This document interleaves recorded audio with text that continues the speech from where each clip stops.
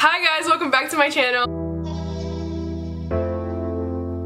Well, If you're seeing me for the first time, my name is Kaitlyn Esguerra and today's video is going to be a summer lookbook. I did a poll on my Instagram asking you guys um, if you would like to see a lookbook or a lit playlist video. I think one person said lit playlist, so we're doing a summer lookbook. Um, also, if you're not following my Instagram, what what's good? Like, what's going on?